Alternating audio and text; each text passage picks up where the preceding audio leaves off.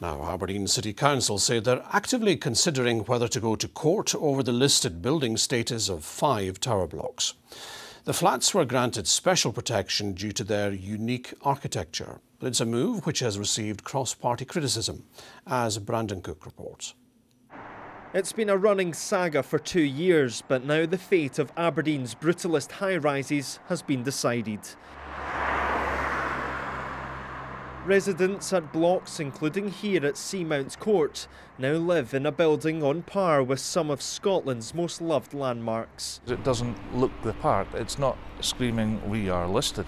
It's just a building that's being patched together. Andrew has lived in the building for a decade. He says it faces constant challenges, but fears listing it may be the biggest yet. I was surprised it was even put forward to be A-listed.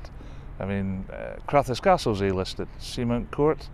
Most of the buildings in Aberdeen have been modernised, but the ones that are A-listed haven't been modernised. So it's a bit of a, a worry what's going to happen with the modernisation programme, because as far as I know, it's, it's gone. At the block next door, Chris has similar concerns. So I would suggest that most A-list buildings have got some kind of historical value. These are pretty much an eyesore um, they've not been kept well. Um, the outsides don't look good, the insides are even worse. There's quite a lot of people scared to come in and out of the buildings. Once they're in their door, the door's shut and that's it. Historic Environment Scotland say these concrete giants help tell the tale of Aberdeen's post-war social housing. But the city's former leader, who was in charge when the appeals process first started, says it's rather a tale of higher costs because it adds a, an extra layer of bureaucracy, there's going to be increased costs, not just for the, the council that owns much of the houses, but there's going to be increased costs also for, um, you know, owner occupiers.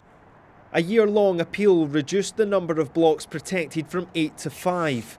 Historic Environment Scotland said they accept the decision and deny the listed status will result in higher costs. Throughout the process, we've been very keen to ensure that the listing shouldn't get in the way of everyday improvements, repairs, and maintenance.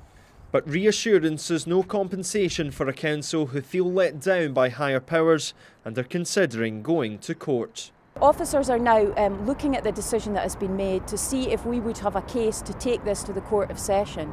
I actually think that Scottish ministers should have stepped in and I would have hoped that they would have not signed this off. They would have actually sided with the people of Aberdeen and allowed us as a council to determine how we deal with these buildings moving forward. For now, residents like Andrew and Chris are learning to live with their building status. But they, like many others, wonder if this debate has yet more floors to climb. Brandon Cook, STV News.